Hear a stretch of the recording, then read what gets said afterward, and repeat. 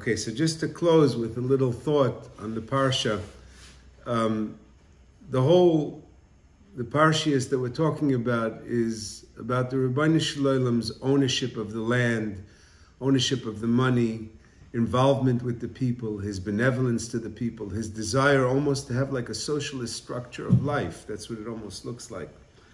It reminds me of two points that I'd like to make. One was I once heard from the uh, the um, Reb Davidel of Nevardok was a great mind, and he also had a tremendous social skill.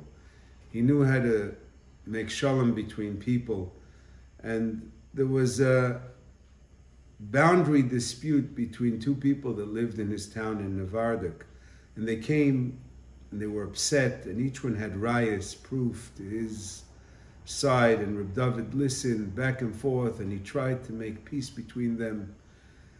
And finally, when he couldn't affect the outcome that he wanted, he told them, Well, I need to go down and see the actual piece of land that we're talking about.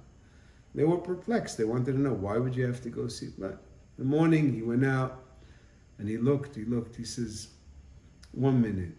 And he bends down, he was already an old man, and he listens to the ground.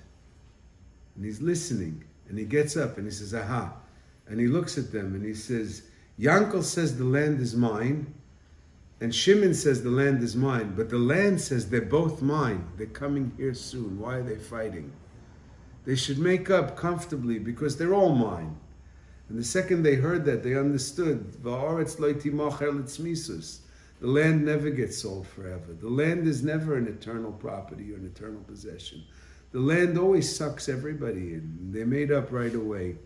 And the positioning of the two parshas that we start with a discussion of who owns what and what owns who, and then we move right into Bechukoisai, which starts off in Bechukoisai Teilechu Ves Mitzvaisai Tishmairu, and Rashi explains Bechukoisai Mitzvaisai is Hevu Amelim Batera, toil in Torah.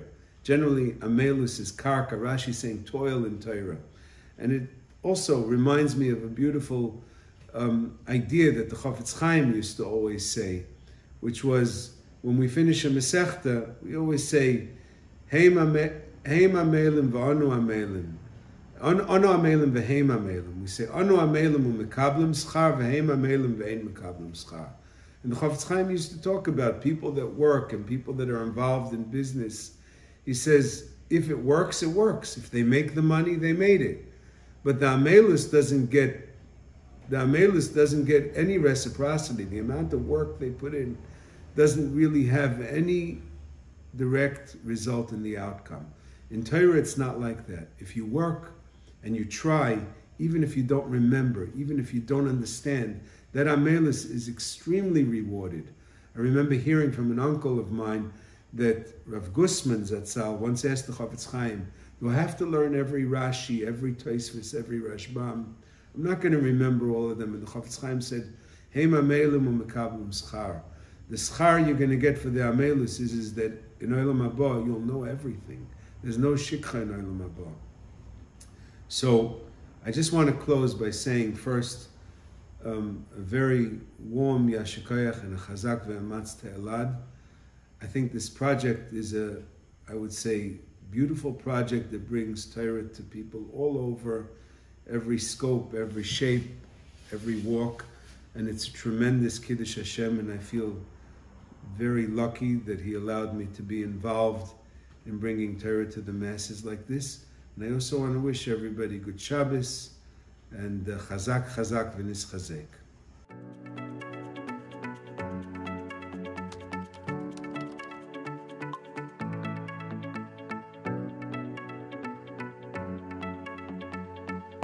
You